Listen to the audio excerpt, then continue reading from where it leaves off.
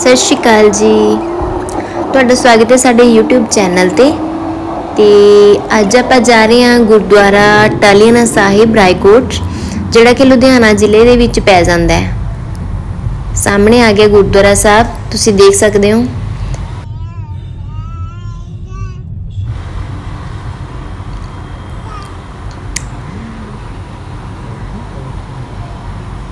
ਚਲੋ ਆਪਾਂ ਕਰਦੇ ਹਾਂ ਐਂਟਰ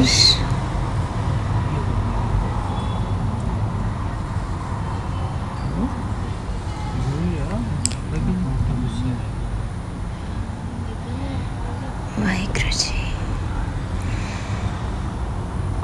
ਪਹਿਲਾਂ ਆਪਾਂ ਕਰਾਂਗੇ ਗੱਡੀ ਪਾਰਕ।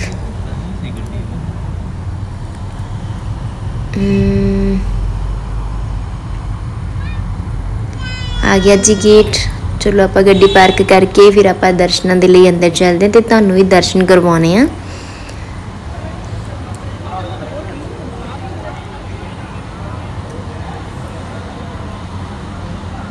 ਇੱਧਰ ਗੁਰਮਤਿ ਲਿਟਰੇਚਰ ਬਣਿਆ ਹੋਇਆ। ਡਿਊਟੀ ਸਾਹਿਬ ਦੇ ਵਿੱਚ।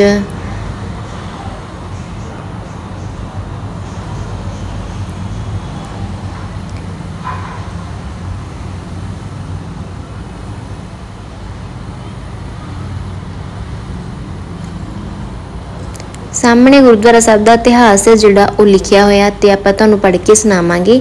ਇਹ ਪੰਜਾਬੀ, ਹਿੰਦੀ ਤੇ ਇੰਗਲਿਸ਼ ਤਿੰਨੋਂ ਲੈਂਗੁਏਜ ਦੇ ਵਿੱਚ ਲਿਖਿਆ ਹੋਇਆ ਹੈ ਨਾ। ਵਾਹਿਗੁਰੂ ਜੀ ਕਾ ਖਾਲਸਾ, ਵਾਹਿਗੁਰੂ ਜੀ ਕੀ ਫਤਿਹ। ਅੱਜ ਅਸੀਂ ਪਹੁੰਚੇ ਹੋਏ ਹਾਂ ਗੁਰਦੁਆਰਾ ਟਾਲੀਆਣਾ ਸਾਹਿਬ, ਪਾਤਸ਼ਾਹੀ ਦਸਵੀਂ ਰਾਏਕੋਟ, ਲੁਧਿਆਣਾ ਵਿਖੇ। ਅੱਜ ਅਸੀਂ ਤੁਹਾਨੂੰ ਇਹਦਾ ਇਤਿਹਾਸ ਦੱਸਣ ਜਾ ਰਹੇ ਹਾਂ।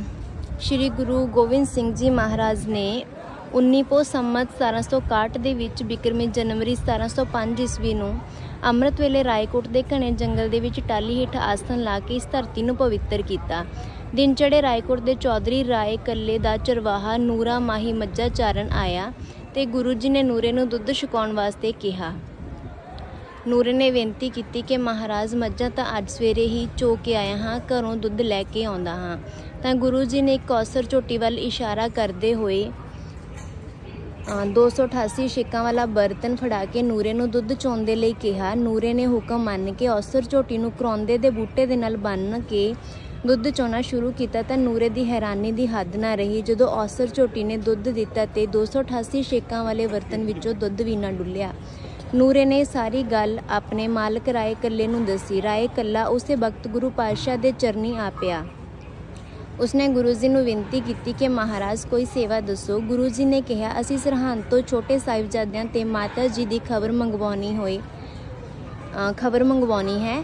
ਰਾਏ ਕੱਲੇ ਨੇ ਇਹ ਕਾਰਜ ਨੂਰੇ ਨੂੰ ਜਲਦੀ ਕਰਨ ਅ, ਤੇ ਵਾਪਸ ਆਉਣ ਦੇ ਲਈ ਵੀ ਕਿਹਾ।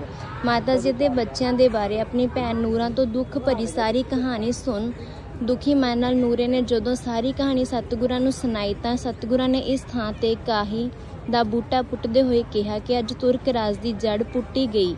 ਉਸ ਸਮੇਂ ਕੋਲ ਬੈਠੀ ਸਾਰੀ ਸੰਗਤ ਸੀ ਜਿਹੜੀ ਉਹ ਚੁੱਪ ਰਹੀ। ਬਾਅਦ ਵਿੱਚ ਰਾਏ ਕੱਲੇ ਨੇ ਗੁਰੂ ਜੀ ਨੂੰ ਬੇਨਤੀ ਕੀਤੀ ਕਿ ਮਹਾਰਾਜ, ਅਸੀਂ ਵੀ ਤੁਰਕ ਹਾਂ, ਸਾਡੇ ਤੇ ਰਹਿਮ ਕਰੋ। ਤਾਂ ਗੁਰੂ ਜੀ ਨੇ ਕਿਹਾ ਕਿ ਚੰਗਾ ਬਈ, ਤੁਸੀਂ ਸੇਵਾ ਕੀਤੀ ਹੈ। ਰਾਏ ਕੱਲੇ ਨੂੰ ਤਲਵਾਰ, ਗੰਗਾ ਸਾਗਰ ਅਤੇ ਰੇਹਲ ਬਖਸ਼ਿਸ਼ ਕਰਕੇ ਫਰਮਾਇਆ ਜਦ ਤੱਕ ਸੇਵਾ ਪੂਜਾ ਕਰਦੇ ਰਹੋਗੇ, ਤੁਹਾਡਾ ਰਾਜ ਕਾਇਮ ਰਹੇਗਾ। ਐਸਾ ਹੀ ਹੋਇਆ ਜਦੋਂ ਤੱਕ ਸੇਵਾ ਪੂਜਾ ਕਰਦੇ ਰਹੇ ਰਾਜ ਕਾਇਮ ਰਿਹਾ। ਗੰਗਾ ਸਾਗਰ ਇਨਾਇਤ ਖਾ ਪਾਕਿਸਤਾਨ ਲੈ ਗਿਆ ਗੁਰੂ ਸਾਹਿਬ ਜੀ ਨੇ ਇਸ ਸਥਾਨ ਦੇ 3 ਦਿਨ 19 20 ਅਤੇ 21 ਪੋ ਨੂੰ ਵਿਸ਼ਰਾਮ ਕੀਤਾ। ਇਹ ਇਤਿਹਾਸ ਸੀ, ਹੈਗਾ ਹੈ ਇਸ ਜਗ੍ਹਾ ਦਾ। ਚਲੋ ਹੁਣ ਅੱਗੇ ਚੱਲਦੇ ਹਾਂ ਆਪਾਂ। ਬਾਕੀ ਜੇ ਕੋਈ ਮੇਰੇ ਤੋਂ ਇਤਿਹਾਸ ਪੜ੍ਹਦੇ ਗਲਤੀ ਹੋ ਗਈ ਹੋਵੇ ਤਾਂ ਮਾਫ ਕਰ ਦਿਓ।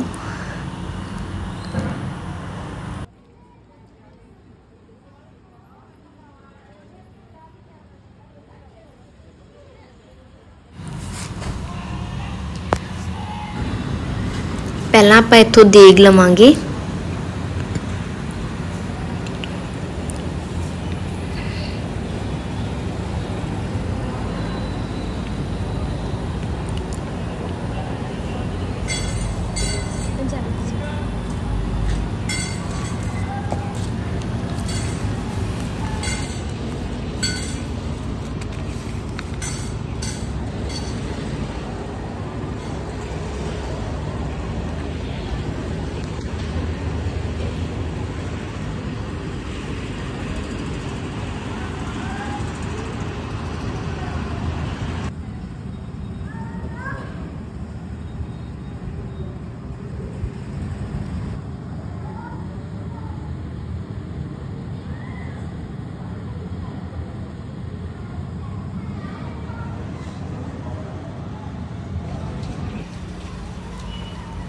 ਇਹ ਨਕਸ਼ਾ ਬਣਿਆ ਹੋਇਆ ਪੂਰਾ। ਗੁਰੂ ਗੋਬਿੰਦ ਸਿੰਘ ਜੀ ਅਨੰਦਪੁਰ ਸਾਹਿਬ ਤੋਂ ਤਲਵੰਡੀ ਸਾਬੋ ਤੱਕ ਕਿੱਥੋਂ ਕਿੱਥੋਂ ਦੀ ਹੋ ਕੇ ਕਿਵੇਂ ਪਹੁੰਚੇ ਸੀਗੇ, ਇਹਦੇ 'ਚ ਸਾਰਾ ਕੁਝ ਦੱਸਿਆ ਹੋਇਆਗਾ। ਤੇ ਤੁਸੀਂ ਇਹਨੂੰ ਜ਼ੂਮ ਕਰਕੇ ਰੋਕ ਕੇ ਦੇਖ ਸਕਦੇ ਹੋਗੇ।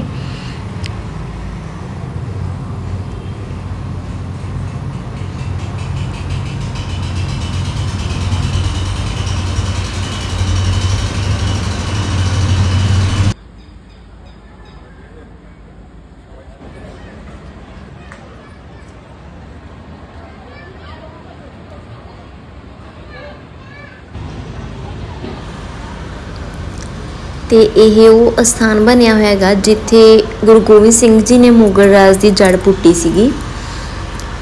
ਤੇ ਜਿਹੜਾ ਇਹਦਾ ਇਤਿਹਾਸ ਹੈ, ਉਹ ਵੀ ਇੱਥੇ ਲਿਖਿਆ ਹੋਇਆ ਹੈਗਾ ਤੁਸੀਂ ਇਹਨੂੰ ਰੋਕ ਕੇ ਵੀਡੀਓ ਨੂੰ ਪੜ੍ਹ ਸਕਦੇ ਹੋ, ਕਿਉਂਕਿ ਜੇ ਮੈਂ ਤੁਹਾਨੂੰ ਪੜ੍ਹ ਕੇ ਦੱਸਣ ਲੱਗੀ ਤਾਂ ਜਿਹੜੀ ਵੀਡੀਓ ਉਹ ਜ਼ਿਆਦਾ ਲੰਮੀ ਹੋ ਜਾਣੀ ਹੈ, ਠੀਕ ਹੈ? ਵੀਡੀਓ ਦੇਖਣ ਦੇ ਲਈ ਬਹੁਤ ਬਹੁਤ ਧੰਨਵਾਦ। ਜਿਹੜੇ ਨਵੇਂ ਨੇ, ਚੈਨਲ ਨੂੰ ਸਬਸਕ੍ਰਾਈਬ ਕਰ ਲਓ ਪਲੀਜ਼